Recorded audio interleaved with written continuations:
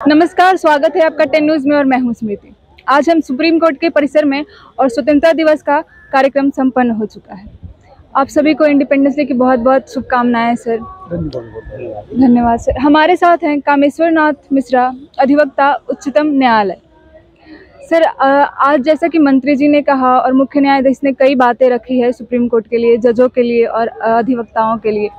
तो इस पर आपका क्या विचार है? प्रधानमंत्री जी ने लाल किले के प्राचीर से कहा है कि सर्वोच्च न्यायालय के फैसले की कॉपी मातृभाषा में दी जाएगी। सर्वोच्च न्यायालय के प्रधान न्यायाधीश ने भी कहा है कि सभी बाईसों भाषाओं में फैसले की कॉपी दी जाएगी। यह बहुत अच्छी बात आज हुई है। 2017 की घटना है। वहाँ पर मैसूर उच्च न्यायालय में सिल्वर जुबली वर्ष मनाया जा रहा था। उस समय अपने महामहिम राष्ट्रपति जी ने कहा था कि जनता जिस बात को समझती है, उसी भाषा में न्याय व्यवस्था होनी चाहिए।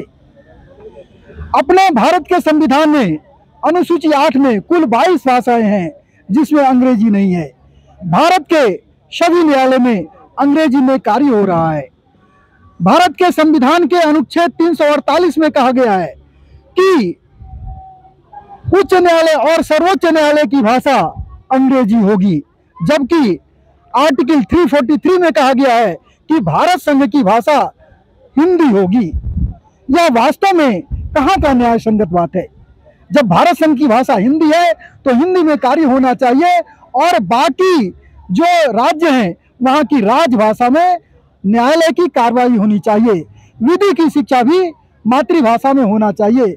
भारतीय भाषा अभियान गत कई वर्षों से इस कार्य में लगी हुई है। कहते हैं कि तूफानों से डरकर नौका पार नहीं होती, हिम्मत करने वाले की कभी हार नहीं होती। और इसी तर्ज पर भारत, भारतीय भाषा अभियान लगातार कर रही है। दिन दूना, रात चौगुना और कार्य वृद्धि हो रहा है।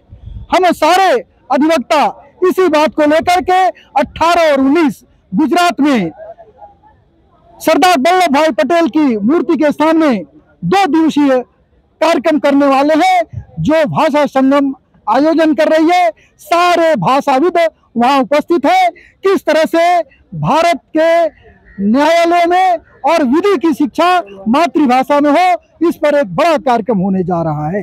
जय हिंद, जय भारत। टेन न्यूज़ से बात करने के लिए बहुत बहुत धन्यवाद सर